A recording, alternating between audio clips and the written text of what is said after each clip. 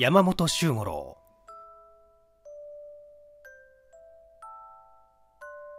特急第7号。1保険料5万円。星野さん社長がお呼びですよ。おい来た。東洋保険会社の若手でバリバリの腕利きと言われた星名純吉は給仕の知らせですぐに社長室へ行ったお呼びですか社長？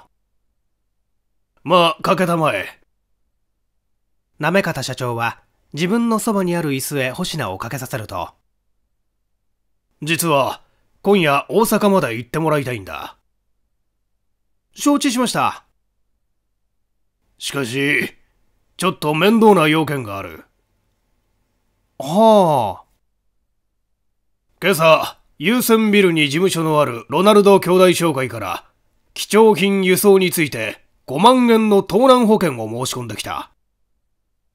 貴重品というのは宝石一籠で、鳩の卵ほどもあるダイヤモンド一家、あとはエメラルドやオパール、ルビーなど、合わせて10万ほどの品だそうだ。大阪へ送るんですねそうだ。ところが君、と社長は葉巻の火をもみ消してぐっと体を乗り出しながら言った契約をしてしまったから嫌なことを聞いたんだよ。何ですか？その宝石を狙っている奴があるらしいんだ。というのは、2週間ほど前からロナルド商会へ時々妙な脅迫状が舞い込むというんだ。その鳩の卵ほどあるダイヤモンドには、東方の星という名がついていて、世界的にも知られた名だそうだが、脅迫状の文面は、その宝石を必ず盗んでみせると繰り返し言ってよこすのだそうだ。誰かのいたずらでしょうところが、すでに事実があるんだ。社長は新しい葉巻に火をつけながら2年ばかり前、同じロナルド商会で20万円ばかりの宝石類を下関まで輸送したことがある。その時も国際保険会社へ20万の保険をつけて送ったんだが、見事列車の中で盗まれた。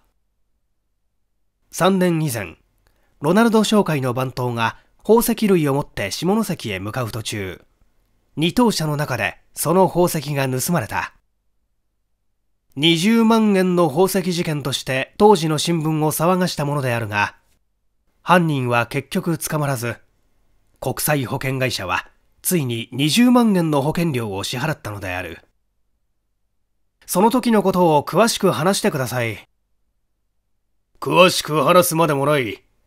極めて簡単なんだ。列車が名古屋を出発して間もなく、その番頭が便所へ立った。その隙に盗まれたらしい。京都へ着く前に調べてみると、宝石を入れたカゴが紛失しているので大騒ぎになり、京都へ着くとともに警官が来て取り調べた。その時二等車の乗客は同じ車室に3人いたそうだが、身体検査をしてみると、その中の一人の紳士のポケットから5、6顆の宝石が出てきた。それが犯人だったのですね警官たちもそう思った。ところがよく調べてみると、その紳士は大阪の有名な富豪で、事件には何の関係もないことが分かった。つまり真犯人は、嫌疑を他へ向けるために、わざと宝石の2、3を紳士のポケットへ落とし込み、警官たちがそっちを調べているうちに、口を拭って逃走した、というのが真相さ。なるほど。なるほど。星名青年は右手の親指の爪を噛みながらじっと何事か考えている様子だった。そういう事実があるから、今度も迂闊にはできないんだ。そこで、僕に護衛していけとおっしゃるんですね何しろ、下手をすると5万円の損害だからな。僕にはちっと弁償できない金額ですね。星名青年は明るく笑って。承知しました。一つ間違いのないようにやってみます。頼む。しかし社長、少し金がかかりますよ。必要なだけ会計から持っていきたまえ。午後2時か。星名純吉は時計を見て立ち上がった。どこかへ行くのか？ちょっと養老院へ行ってきます。養老院だって？な方社長は仰天した。10万円の宝石事件と養老院と何の関係があるのだ？君、気は確かかい？細工は流々ですよ。星名純吉は元気に笑いながら出て行った。2人相の悪い男東京駅発下関行き特急第7号列車はすでに発車の準備を終えてプラットフォームに着いている午後9時5分前ロナルド兄弟商会主人ロナルド・パーカー氏は片手に小型の手提げカバンを持ち専属私立探偵の角野村右衛門を伴って二等車へ乗り込んできた。そして車室の中央部左側の席を取って腰をかけると、まず車室の中を見回した。乗客はまだ二人しかいない。一人は全部の左側に座っている老紳士。もう一人はロナルド氏の右手少し後ろにいるが、この男はちょっと妙だ。髭面で目のギロリとした顔色の青黒い口の大きな、ひどく凶悪な人相をしていて、着ているものも古ぼけた背広服という二等車などの客にはふさわしからぬ風景である。ああ私立探偵の角野村右衛門氏はうなずいて。怪しい奴だわい。脅迫状を汚した奴の一味か、そうでなくとも悪党にはそういない。だが、角の村右衛門がいるとはキャツも知ってはいまいて。下手に動いてみるがいい。その時は、その時は村右衛門の腕がどんなものか知るだろうぜ。願わくばそうありたいものである。一体、角の村右衛門という人物は、その古風な名にふさわしく、体つきから動作までがひどく大時代で、鼻下にナマズひげを生やし、古ぼけたモーニングを着ているというありさま。そして、自分がいなければ日本の探偵界は闇だ、という大きな自信を持っていた。発射間際になって、学生服を着た一人の青年が、あたふたとこの車室の中へ入ってきた。大学の制服制帽で、手にバッグを一つ持ち、車室の一番後部に席を取って腰掛けた。言うまでもなく、我らの星名純吉である。ああ、今度は学生か。角野村右衛門氏はじろりと一別してつぶやいた。学生なんぞは、まあ捨てておこう。問題はあの悪党が、この村右衛門の目に黒いがあるかどうか。まあ、見ているがいい。よろしい。拝見するとしよう。かくて、いよいよ午後9時10分。10万円の宝石と、それをめぐる人々を乗せた特急第7号は、東京駅を発車した。星名純吉は、列車が動き出すとともに、バッグから週刊新聞を取り出して広げたが、無論読むためではなく、新聞の影から車室の様子を観察するつもりなのだ。彼はまず、一番前にいる紳士を見た。これはラッコの襟のついた街灯を着た50年配の男で、クッションの具合でも悪いか、しきりに身動きをしながら窓の方を見合っている。その次には、ロナルド・パーカー氏、角野村右衛門探偵の二人。なるほど。あれが専属の名探偵か。星名青年はにやりとして次へ目を移した。右側にいる例の人相の悪い男へ。しかし、こっちからはよく悪感面が見えなかったので、星名純吉はちらっと見ただけで目をそらせた。横浜でも二等車の乗客はなかった。構図へ着いたのが午後11時。ここでも乗客なし。ついに車室の客は以上の5名と決まった。ロナルド商会へ脅迫状をよこした悪漢は、この5名の中にいるだろうかこの失踪中の特急列車の中で、海賊は果たしていかなる手段に出ようとするか。いよいよ危険は迫ってきたぞ。星名純吉は、密かに武者震いをした。列車は何事もなく丹那トンネルを通過した。ロナルド氏は窓にもたれて加水しているし、あの紳士は何か書物を読んでいる。人相の悪い男は、横浜を出る頃からぐっすりと眠りこけている様子だ。そして、名探偵村右衛門氏だけは、ミミズクのような目をきょろつかせて、いざ来い、来たれ、と言わんばかりに四角ばって力んでいた。午前1時過ぎ、列車は静岡駅へ着いた。そして、ここでちょいとした騒ぎがあった。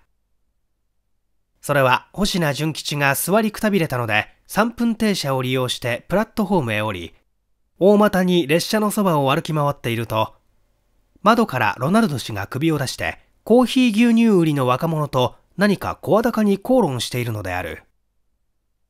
近寄って行ってみると、ロナルド氏は今買ったコーヒー牛乳がまずいと言って飲みかけのやつを返そうとする。若い駅売りは怒って、半分飲んだものは受け取らぬ。と言っているのだ。ロナルド氏は、うまくないからうまくないと言ったので、代金は払います。そっちの大瓶を取ってください。こっちは30銭です。30銭、いいです。ください。駅売りは大瓶の方を取って差し出した。ロナルド氏はすぐに飲んでみたが、まずいこんなもの飲めません代金をいただきます金は払いますしかし、こんなひどいものを売る、実にけしからん駅長に申告します。どうぞお勝手に金を受け取った若い駅売りは、ロナルド氏が突っ返した飲みかけの瓶をしまうと、ぷんぷん怒りながら窓際を離れた。この様子を見ていた星名青年が、その駅売りがこっちへ来るのを待ちかねたように、おい君と呼び止めながら近寄っていった。3事件突発コーヒー牛乳をくれないかへい !15 銭ここで飲むから蓋を取ってくれたまえ。そう言って小銭を出しながら、星名純吉は駅売りの若者の胸元を見た。灰色ジャンパーの胸のところに丸い番号表がついている。それは不都合な行為のあった場合、駅長へ申告するためにつけてあるもので、その若者の番号は37番だった。君はまだ新米だね。若い駅売りが瓶の蓋を取るのに苦心しているのを見た星名青年は、よし、僕がやろう。と、受け取って代金を払い、今の外国人は随分口やかましいやつだな。まったく、あんな人に会っちゃ叶いませんよ。毎度ありがとうございます。そう言って駅売りは去っていく。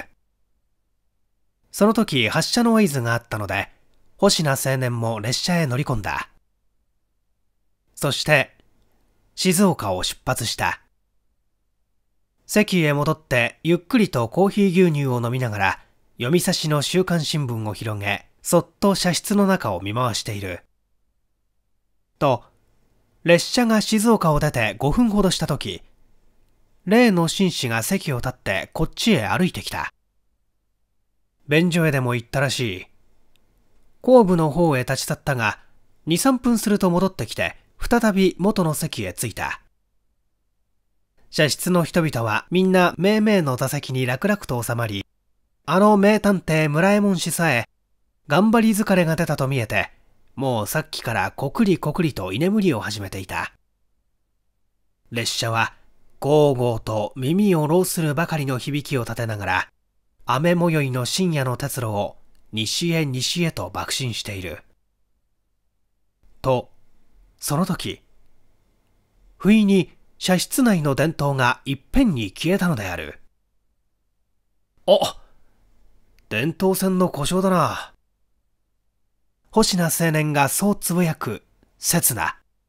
鼻をつままれてもわからぬ闇の中で、ドシンと激しく物を打つ気配が起こり、ふわっという悲鳴と人の倒れる物音。それと同時に、角の村右衛門氏のわめく声が起こった。みんな騒ぐなくせ者の尻尾は押さえたぞさあ来い。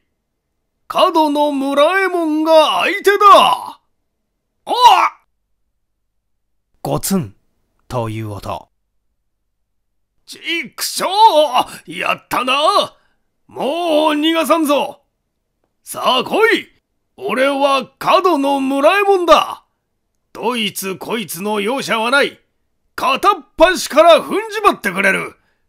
踏んじまってくれるぞ村右衛門氏のわめきが終わらぬうちに、茶室の電灯がパッと灯り、どうしたのですか？と、後部から車掌が入ってきた。見ると、車室の中央に、角の村右衛門氏が額に大きなコブをこしらえて、憤怒の形相すごくわめき立てている。その足元にロナルド・パーカー氏がうつ伏せに倒れていて、宝石を収めた手提げカバンがパックリ蓋を開けたまま投げ出されてあった。紳士はびっくりして座席から振り返っているし、あの人相の悪い男は目を大きく見開いたまま身動きもせずにいた。村右衛門や探偵はすぐにロナルド氏を助け起こしてシートへ横にし傷を調べると額をひどく打たれているが大した傷ではなかった。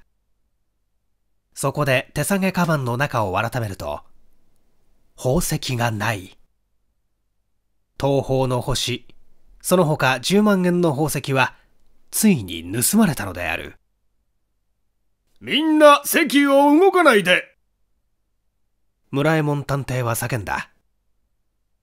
事件は簡単だ。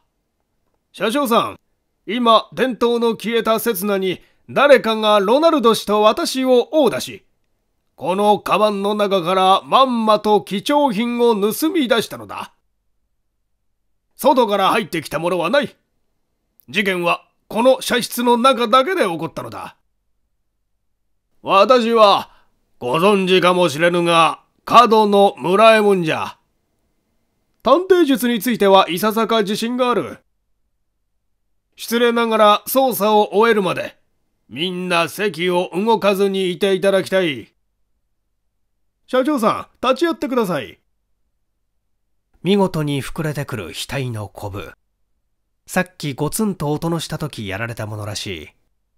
を撫でながら、いよいよ名探偵は活躍を始めた。彼は紳士のところへ行って、全部から人の出入りのなかったことを確かめ、座席の隅々までまるで這うようにして操作を始めた。しかし、どこからも宝石箱は出てこなかった。しかし、ロナルド氏のシートの下から一本の太いステッキを発見した。あはと村右衛門探偵は勝ち誇ったように立ち上がっていった。とうとう見つけたぞ。これがロナルド氏を殴った凶器だ。このステッキの持ち主こそ当の犯人じゃ。諸君、このステッキはどなたのものですかね？誰も答えるものはない。名乗っていただきたい。黙っていたところで指紋を調べればわかることだ。さあ、白状したまえ。失礼ですが、と、例の紳士が立ち上がった。4犯人捕獲私はさっき便所へ立ちましたが、通りすがりに見たところによると、そのステッキはあちらの方が持っておられたと思います。そう言って紳士は人相の悪い男の方を指さした。名探偵は我が意を得たりと。なるほど。いや、よく証言をしてくださいました。実際のところ私も知っていたのです。何？事件は単純なものですよ。村右衛門氏はその男の方へ近寄って。このステッキは、君のものだろうね。人相の悪い男はぎろりと目を光らせたが、急におどおどした様子で。あ、はい。その、さようです。まさか違うとも言えまいさ。ああ。ところで君は、この事件の犯人だということも認めるだろうな。と、とんでもない。決してそんな。もうそんな問答には及ばんでしょう。紳士がそばから腹立たしそうに言った。殴ったのがそのステッキであり、ステッキの持ち主がその人である以上、宝石を盗んだ犯人はその男に違いありませんよ。身体検査をしてみたらいいでしょう。そうすれば。いや、あなたは黙っていてください。探偵は紳士の言葉を遮って。事件については私が万事承知です。もうこれだけの事実を確かめておけば大丈夫。身体検査は警官の仕事です。車掌さん、浜松へ電報を打って、警官に駅まで出張してもらってくれたまえ。承知しました。ああ、君車掌が去ろうとした時、今まで黙って事件の成り行きを見守っていた星名純吉は、手早くバッグの中から電報来信紙を取り出して何かしたため、車掌を呼び止めて、僕も電報を打ちたいから頼みます。どうか大急ぎでこれを。承知しました。車掌は星名青年から来信紙を受け取ると、足早にこの車室から出て行った。果たして星名青年はどこへ電報を打ったのであろうか。奇怪な事件を乗せたまま、列車は全速力で疾走している。かくて特急第7号列車は午後3時5分浜松駅へと着いた。駅には浜松署の捜査係長川口警部をはじめ5名の警官が待ちかねていて、すぐに問題の2等車だけを1台切り離し、対比線へ入れておいて、列車は出発した。対比線へ入れられた2等車には、もちろん5名の者も席を動かずにいる。やがて川口係長をはじめ警官たちが入ってきた。事件の経過を説明いたしましょう。私はこういうものです。角野村右衛門は真っ先に立って係長に名刺を差し出した。名探偵角野の名を知ったらさぞ驚くだろう。と、密かに鼻をうごめかしていたが、川口警部はちらと別件したきりで、事件を聞きましょう。と言った。村右衛門氏は拍子抜けのした形だったが、気を取り直して説明を始めた。川口警部は要点を手帳に書き留めながら黙って聞いていたが、名探偵の陳述が終わると、なるほど。すると要点は、1、午前1時20分頃電灯が消えた。2、何者かが、ロナルド氏、並びに角の村右衛門氏を殴打した。3、車掌が電灯線を直してきたとき、手カバンの中の貴重品が盗まれているのを発見した。4、凶器はステッキ。持ち主は同社の男。5、外部からの人の出入りなし。これに相違ないな。相違ありません。実にご明察です。名探偵は妙なところでお世辞を言う。川口警部は、ちらと村右衛門氏の額のコブを見て、笑いを噛み殺しながら振り返った。そして、例の人相の悪い男のそばへ近寄って、このステッキは、君のものに相違ないかねは、はい、全くで、さようでございます。男は青ざめた顔で、しきりにお辞儀をした。すると君は、伝統の消えたのを利用して、このステッキでロナルド氏と探偵さんを殴り、手提げカバンの中から、ち、違います足は決して。面会はたくさんだ。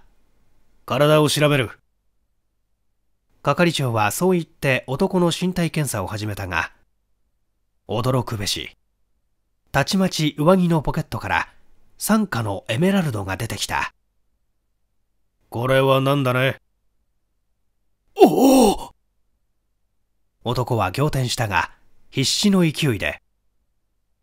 知りませんそんなものは知りません伝統の消えた時、闇の中で誰かが足に触れました。その時、そやつが入れたのでしょう。あっしは知りませんそんな言い訳を信用すると思うのかね係長は冷笑して。おい手錠をかけろと部下に命じた。その時である。星名純吉が席から立ってきて。お待ちください。その男は犯人ではありませんよ。と叫んだ。5意外な真相君は誰だ？こういうものです。腹立たしげな捜査係長の手に自分の名刺を渡しながら、星名青年は言った。ロナルド氏の宝石については、僕も会社から護衛を命ぜられてきたのです。それでこの男が犯人でないという理由は？この人が犯人だなんて馬鹿げていますよ。星名青年はにやりと笑って。というのはですね、この人は僕が東京の養老院から雇ってきたので、しかも半身不随です。え？脳一血で半身不随です。この社室へ入るんだって、皆様は知りませんが、僕と駅府と二人がかりで担ぎ込んだんですからね。一人で立つこともできぬ病人に、ステッキで人を殴ったり、貴重品を盗んだりすることができるはずはありません。あっぱれ星名純吉。養老院へ行くといった謎の言葉は、ここで初めて了解できる。では、犯人は誰だ？その前に、失礼ですが、あなた、と星名青年は、例の紳士の方へ振り返って。あなたは、角の探偵がステッキの持ち主を訪ねたとき、真っ先に持ち主を指名なさいましたね。言いました。悪かったですか？大変に結構です。しかしその時、あなたは続けて、宝石を盗んだのはそいつに違いない、とおっしゃいましたね。それがどうかしたのかね？少しおかしいんですよ。なぜかというとですね、あの時はまだ取られたものが宝石だということは誰も言っていないんです。探偵さんもただ貴重品が盗まれたと言ったばかりですからね。それなのに、あなただけが宝石ということを知っていらっしゃったのは、変じゃありませんか？いかがです？ま、バカなわしは、紳士はひどくどもりながら、わしは、わしはただそう思ったのだ。思ったから。いや、結構です。これ以上弁解なさる必要はありません。だが、宝石はと、ロナルド氏が座席へ横になったままで心配そうに叫んだ。宝石はどうしました？あの宝石、10万円。盗まれては大損害です。何？宝石はすぐお手へ戻りますさ。星名青年はちらっと腕時計を見て。もうこんな時間か。では、係長、ロナルド氏だけ医務室へ運んで休養させてあげたらいかがですか？殴られた傷が痛む様子ですから。そうしよう。君、助けてあげたまえ。係長の命で部下の警官3名がうなっているロナルド氏を助け起こし、車室から降りて駅の構内にある医務室へと運んでいった。ところで、犯人はどうした？川口警部が苛立たしそうに促すと。犯人？いや、どういたしまして。星名は微笑して。この事件には犯人などは一人もいませんよ。もう5分待ってください。今、事実をすっかり証明してご覧に入れます。5分だって？いや、到着しました。星名純吉は窓の外を見て、係長、どうか僕と一緒においでください。そう言って車室を出た。残った3名には警官をつけておいて、2人は線路を横切りながら駅のプラットフォームへ上がる。その時、下り15号急行が駅へ入ってきて停車した。早くこっちへ来てください。いや、ここは医務室じゃないか。星名青年は黙ってという合図をしながら、医務室の横手のドアをそっと開け、川口警部の耳へ口を寄せて、今、面白い芝居が始まります。音を立てないように見ていてください。警部は黙ってうなずいた。医務室の中にはロナルド・パーカー氏がただ一人寝台に横たわっているばかりだ。と、やがて正面のドアを開けて、灰色のジャンパーを着た一人の若者が入ってきた。見ると意外にもそれは、静岡駅でロナルド氏と口論をした駅売りの男である。早かったでしょ、ロナルドさん。男は寝台の方へ寄って行きながら言った。ロナルド氏は若者の顔を見るなり、おおどうして来たんだ、バカと、寝台の上へ飛び起きながら叫んだ。どうしてって、例のものを持ってきたんですよ。来いとおっしゃったから。東京で会う約束じゃないか。こんなとこへ来てもしバレたらどうするか、バカだって、すぐ来いって電報が。電報など打ちはせんいや、その電報は僕が打ったんですよ。そう言いながら星名純吉は、川口警部と共に部屋の中につかつかと入ってきた。いや、ロナルドの仰天したこと。いや、君、どうもご苦労様。